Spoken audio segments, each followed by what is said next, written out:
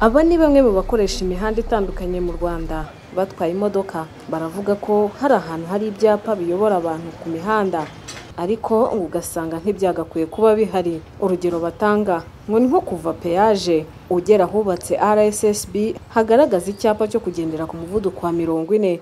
Nyamara ngo bakurikije uko umuhanda nta bindi byerekezo ufite ngo iki cyapa nticyari gikwiye kubamo. Ibyapa byo birabangamye cyane. Byibuze kiriya cyo kuri peyaje kuva mu mujyi uza hano mu kanogo niko twahita cyangwa se sitarade hari icyapa cya mirongo ine kiriya cyapa cyo numva ni ahantu hari amasangano ahari nta kintu gishobora kubangamira abantu kuvuga ngo hatera impanuka. Kiriya cyo ubundi cyo bakivanyeho byibuze kikajya nko kuri mirongo itandatu. Ofu kose byaba ari byiza.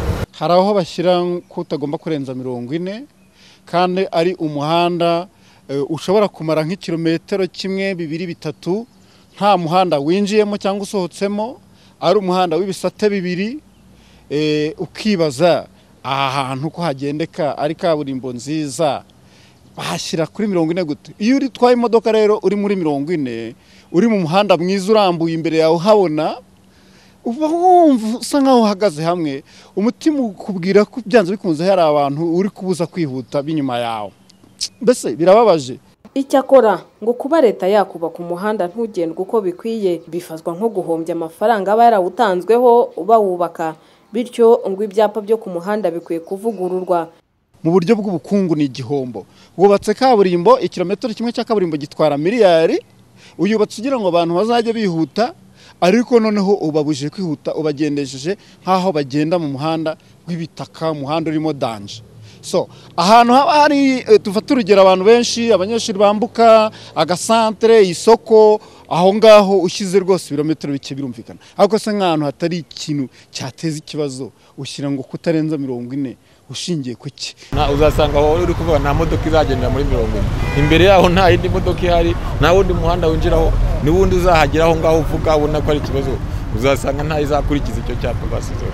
Buri mwaka minisiteri y'ibikorwa remezo ifite mu nshingano gushyiraho ibyapa ngo yifatanya n'ibindi bigo bakorana bakagenzura imihanda byashyizweho niba koko ikijyanye n'igihe bakurikije uko imihanda ikoreshwa. Francois zirikana ni umukozi muri iyi minisiteri. Dore uko abisobanura.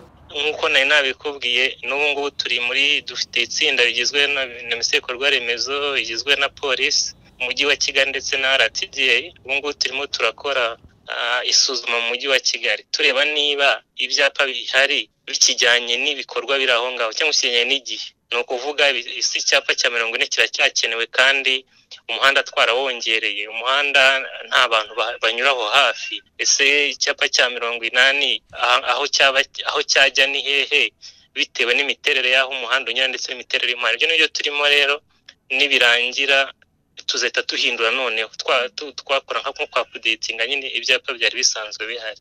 Nubwo abakoresha umuhanda bavuga ko ibyapa bigaragaza ko hari aho usanga biri aho bidakwiye. Banakomeje kunenga uburyo n'ahari ibyapa bitahanogeye hashyirwa kamera zimukanwa zikabaca amafaranga. Bagasaba ko izi kamera zahashyirwa ku buryo buhoraho aho kugira ngo zihore zimukanwa.